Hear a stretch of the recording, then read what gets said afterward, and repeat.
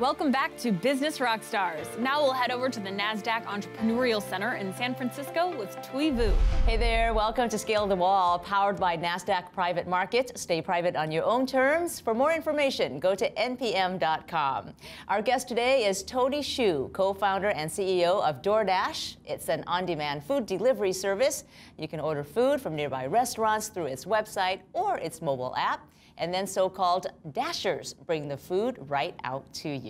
Tony, good to see you. Thanks for joining us. It's great to be here. So DoorDash has uh, been around for four years. How many cities are you in now?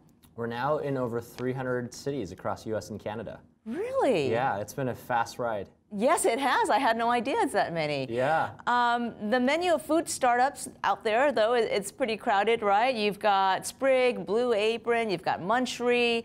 Um, is there really room for all these companies and room for growth, or is it pretty saturated right now? Well, I mean, there's over 575,000 restaurants in the U.S. for a reason, and and I think that's because people really want choice, and and people, after all, eat 20 times a week, three times a day, sometimes more, and you know we've seen nothing but growth at DoorDash. Uh, you know, this, the story of DoorDash really was a tale of you know, two parts. The first half was really about figuring out whether or not there was a great business here. We did that in the first 18 months and have been, you know, growing really, really fast ever since.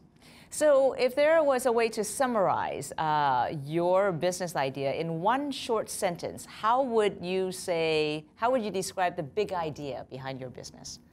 We're building the last mile for commerce. Uh, this is, you know, you know, much bigger than just food. If you think about it, Delivery is a concept as old as time. You and I, as customers, can mm-hmm. probably understand the convenience for it. But if that's true, why is it that 99% of businesses in America not deliver? Why is it that 85% of restaurants not deliver? This you know, need for convenience has never been met yet you know, by the supply side, which really happened you know, with the merchants, whether it's the you know, hundreds of thousands of restaurants or the millions of businesses across the US and, and certainly ac- across the globe. So how do you make money? I know you charge a flat delivery fee, uh, four to seven dollars to the consumer, right? And then is there another revenue stream on top of that? Yeah, we make money in two ways. So we charge a delivery fee, and we also receive a commission on the orders from the restaurants. Okay. And is that structure going to pretty much stay in place when you're growing, or, or, or are you thinking of other fee and payment structures? No, that's how our core business works today. Uh, you will see us offer new services for merchants, which take on different business models, but our core business for delivery is exactly what we talked about.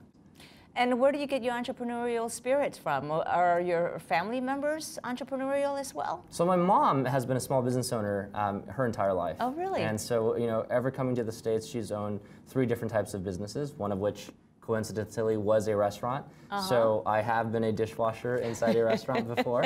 were there deliveries at your mom's restaurant at the time? There were not until now, and and and so uh, uh, no, I, I I've seen you know the hard work as well as the independence that my mom yeah. um, has inspired for a long time now. At the same time, I think as a, as a child, I've always had a lot of curiosities of my own. So I owned my you know own lawn mowing business when I was nine, for example. So I, I think that, you know the, the itch was there from a long time ago, but, but the story of DoorDash started very recently. What do you consider to be your greatest achievement uh, at DoorDash so far? The, the proudest achievement is really in, in recruiting and retaining um, a group of individuals far more talented than myself.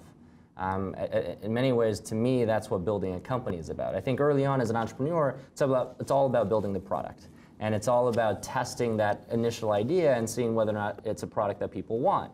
But once you get past that, building a company is much, much more difficult. It's really about the people that you're able to invite in and the people that you're able to uh, you know, make uh, productive and, and, and, happy and successful every day. And I think that the talent level is what I'm most proud of at DoorDash. And when you look back, uh, describe to us the process that you went through when you were trying to decide what kind of business you wanted to do. It was in many ways uh, an organic process, the founding story of DoorDash. Um, our motivation did not start with food or delivery, it started with wanting to help local businesses. And so it was organic in the sense that my co-founders and I spent a lot of time just talking to small businesses about their problems. When would you just go to random businesses and just door, say, what's your biggest problem? We would go door to door on the street. Yeah, absolutely. Really? In different cities across, um, you know, the Bay Area. And even, even the first deliveries, the first six months, my co-founders and I did every single delivery. Um, we did that really to understand the problems, right? And b- becoming an entrepreneur is about becoming an expert in solving a particular type of problem. And in order to do that, you have to go and do the work. And so for us, uh, after spending that time with the small businesses and doing the deliveries ourselves, we really became experts in the business. That's so interesting. What was the number one thing you learned? The number one thing we learned was that um, you know for local businesses, um, going beyond their four walls is very hard.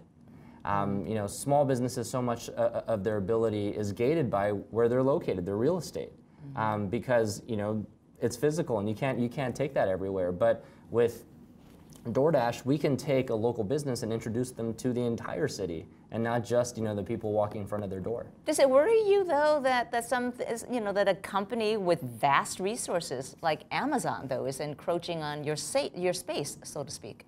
Well, every small com- every big company started small at, at some point, even the companies that y- you listed. And, and so for us, again, uh, we're not worried at all because it is always about just how well and who best serves the customer. As long as we're doing that, we're going to win. And so to me, um, that's not what I think about. What I instead think about is are we building the right products um, you know, for the future, and are we building the right team for the future? Great point. And on that, we're going to end. But Tony Xu uh, with DoorDash, been a pleasure to talk to you. Likewise, it's great being here. Well, join us every Friday as we scale the wall, powered by NASDAQ Private Market. Stay private on your own terms. For more information, go to npm.com. I'm Thuy Vu, and this is Business Rockstars.